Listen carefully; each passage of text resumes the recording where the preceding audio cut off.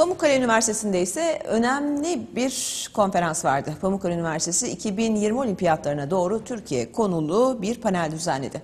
Pamukkale Üniversitesi Kongre ve Kültür Merkezi'nde düzenlenen panele TRT spikeri Kerem Öncel konuşmacı olarak katıldı.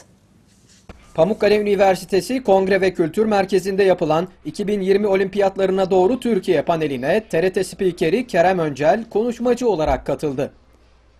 Öncel, panel öncesinde gazetecilere yaptığı açıklamada ülke olarak olimpiyatları çok istediğimizi belirterek İstanbul'un olimpiyatları hak ettiğini ifade etti. Yani bütçe açısından mali portreye baktığımızda en çok parayı ne Madrid'in e, ne de Tokyo'nun ayırmadığını görüyoruz. 1 milyon dolar, e, 4,5 milyar dolar, 1 milyar dolar, 22,5 milyar dolar ciddi bir rakam e, maddi açıdan. E, İstanbul biliyorsunuz en çok e, turistin gittiği 5. büyük şehir. Zaten bunlar biliniyor. E, İstanbul'un kültürlerin birleştiği yer olması açısından birçok avantajı var. Fakat olimpiyatın verilmesindeki önemli ölçütlerden biri de e, insan olduğunu düşünüyorum. Yani bizim spordaki başarımızın, olimpiyatlardaki yarışan sporcularımızın e, ulaştıkları nokta, bizim sporcularımızın geldiği çizgi, e, bunlar da belirleyici olacaktır diye düşünüyorum. Ama yani bunu çok istiyoruz. Biliyorsunuz hükümetin de bu konuda çok desteği var. E, olimpiyatların alınması açısından 7 Eylül'e kadar tüm unsurlarıyla e, İstanbul Büyükşehir Belediyesi de bu konuda çalışma yürütüyor. Tüm unsurlarıyla Türkiye bunu alabilmek için elinden geleni yapacaktır.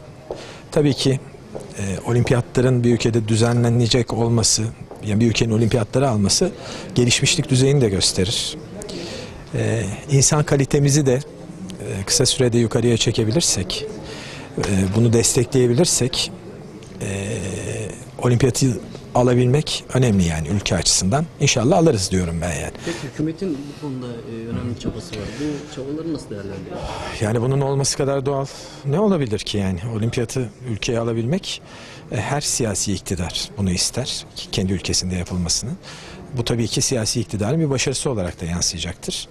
E, olimpiyattan alınmasını tabii ki hükümet isteyecektir diye düşünüyorum. Bu ülkenin insanı olarak biz de istiyoruz. Ama her açıdan yeterli miyiz? Altyapımız yeterli mi? İnsan kalitemiz buna el verecek mi? Bu, bu tip değerlendirmeler kıstas alınacak. Bir de profesyonelce yürütülen lobi faaliyetleri önemli. E, bunların e, Tokyo'ya ve Madrid'e karşı e, nasıl yapılacağı, nasıl yürütüleceği önemli ki bunların profesyoneller eliyle yürütüldüğünü de biliyoruz. Bu konuda da çalışmalar var. Gönlümüzden geçen ülkenin tabii ki olimpiyatları alması. Türkiye'nin olimpiyatlara ev sahipliği e, yapması bir milat olarak kabul edilebilir. E, insana verilen değer daha da artacaktır söylediğim gibi. E, daha müreffeh bir ülke haline gelmesi için ülkenin e, olimpiyatların yapılması İstanbul'da önemli. İstanbul bunu aslında hak eden bir şehir.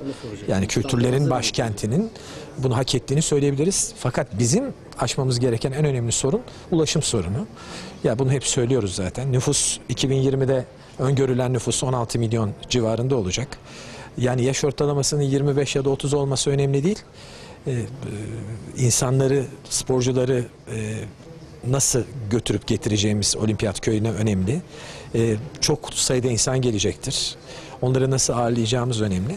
Bütün bu faktörleri de göz ardı etmemeliyiz. Ama İstanbul söylediğim gibi bunu hak eden bir şehir zaten.